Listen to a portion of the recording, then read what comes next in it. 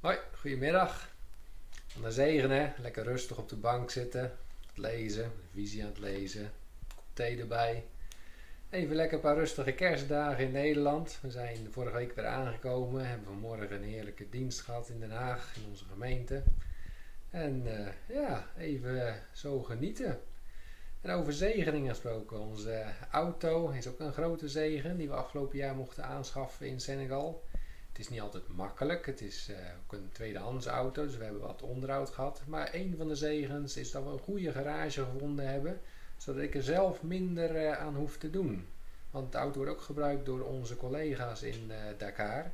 En zodoende is de auto eigenlijk dagelijks tot zegen, omdat die in veel plaatsen gebruikt wordt voor veel werkzaamheden. Nou ja, oude auto, of nou, oude auto.